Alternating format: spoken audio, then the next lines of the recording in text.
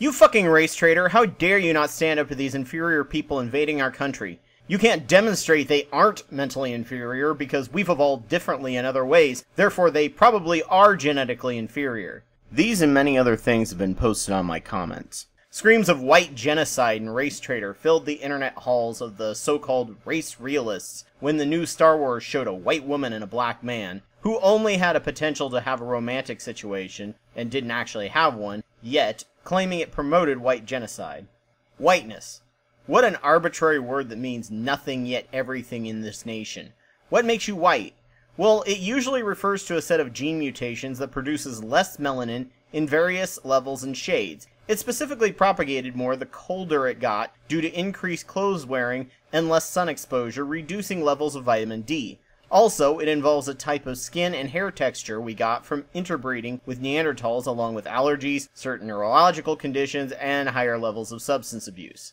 The gene expression is on a gradient over most of Europe, and with the whitest being from the coldest regions and a nice tan in the southern Mediterranean regions, where they mixed with the North Africans since the Roman Empire. East Asians and Native Americans evolved a slightly different skin pigmentation traits for dealing with vitamin D deficiencies in their own way.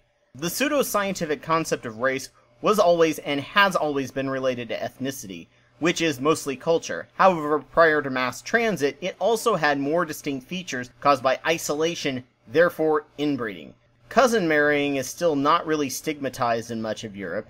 The entire purpose of sex is to wash bad genes out, often caused by genetic damage. The closer related you are with someone else, the dirtier the water is. Through genetic recombination, you can even duplicate prior harmless genes that become harmful. There's a link in the bottom bar about how incest works.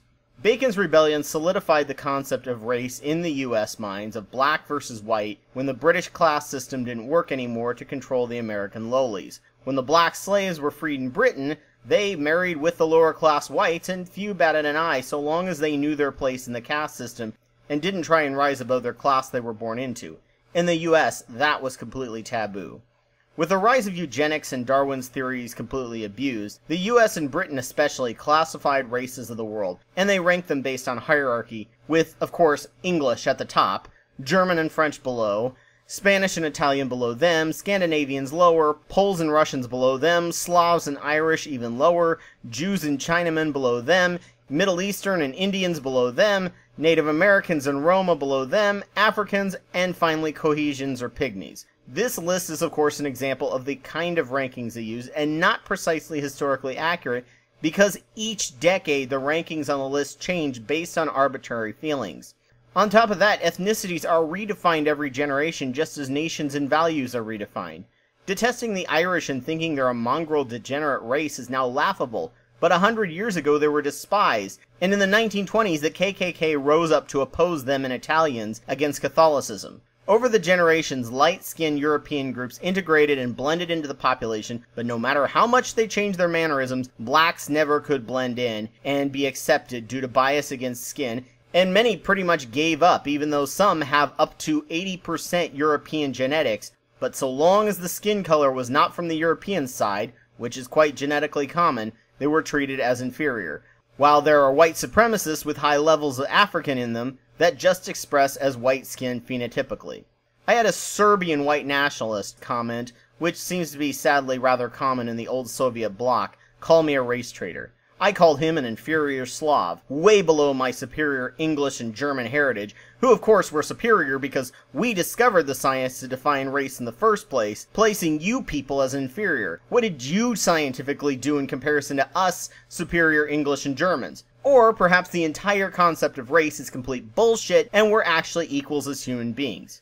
He didn't get it. Must be that inferior Slavic brain not being able to grasp complex concepts or possibly financial stress lowering IQ and increasing racism.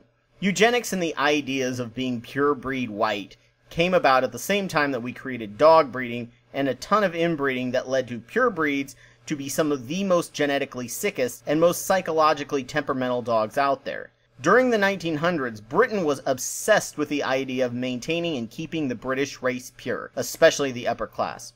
British, of course, excluding Irish and Scottish. They went so far as to believe and protect the obvious farce of the Piltdown Man, as evidence that humans evolved in England and therefore were the first and best, and we all evolved from them as distorted form, even though scientists pretty much of every other nation that saw it believed it to be bullshit. In 1919, 1,500 graves of Germanic people was found in Britain. The evidence became overwhelming that there was no British race. The archaeologists who discovered this were crushed and depressed that much of their genetics descended from the dirty Jerrys they had just been at war with. Growing up from day one, the concept of race was ingrained into me with Jesus loves the little children, red and yellow, black and white, and all the white people enjoy the stereotypical comedy, so the message I kind of got from it from the adults around me was Jesus loves them in spite of the fact that they're weird. When you ask your average white supremacist in the US, those four, along with the Jews, is how they usually classify a race. Once again, completely arbitrary. Forensics does utilize skull features to narrow down a person's origin, named Caucasoid, Negroid, and Mongoloid, but that is hardly an indication of which pure haplogroup you're from.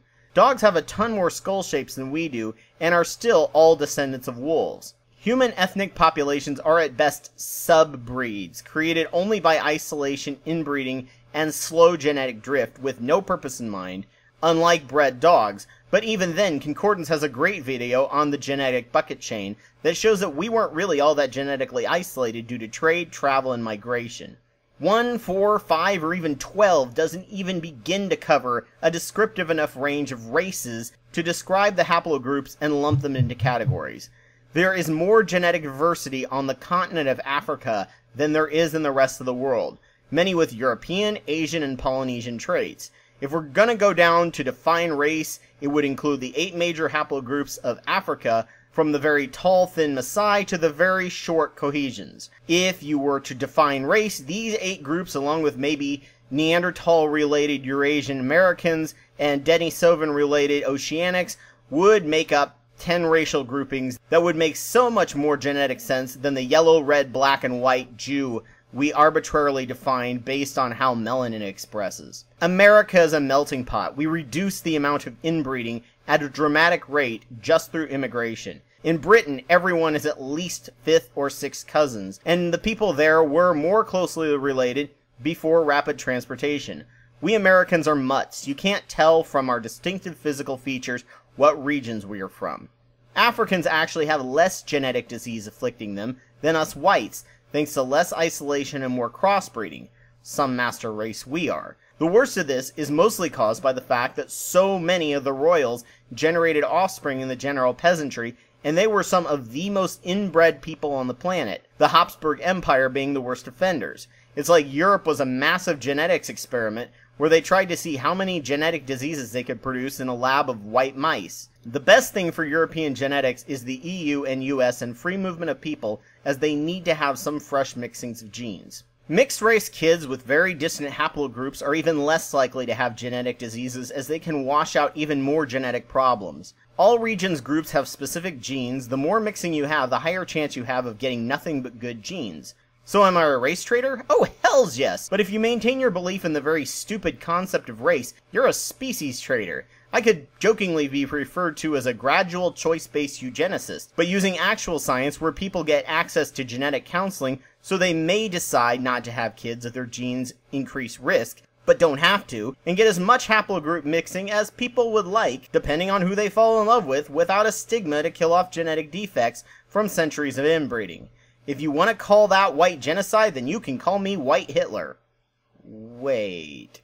If melanin content is why you consider yourself great, or how you define yourself, I feel very, very sorry for you. And it won't mean the end of white skin. I have a friend who's half black and looks like me with red hair and freckled white skin, while Obama looks as black as they come. Malcolm X had red hair. These traits viewed as exclusively white will still pop up again and again as a mix of dominant and recessive traits in the population, just without all the awful genetic diseases our royal heritage gave us. The South Park episode of future people taking their jobs is wrong.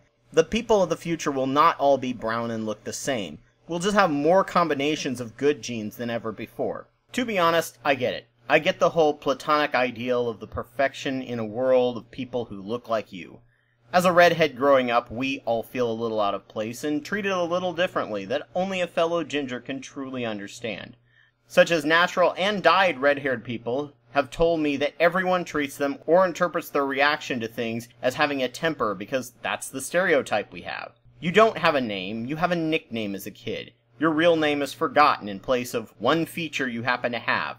Red, carrot top, whatever.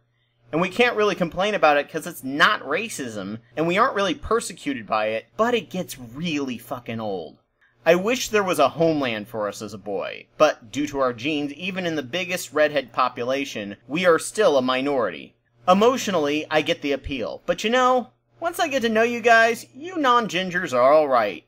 No matter your hair color, even the trans gingers who need to use artificial means to look how you feel, you guys are just as good as we are. You have your geniuses and idiots, saints and assholes, and people all in between. Living with you as opposed to being segregated among my own has ensured that I can't really stereotype you all based on the few that I have met. Although, since we are so non-prevalent in the population, apparently you can stereotype us. Blending will do us all some good, and make it harder to hate and stereotype. And that way we will all be healthier and happier as a planet.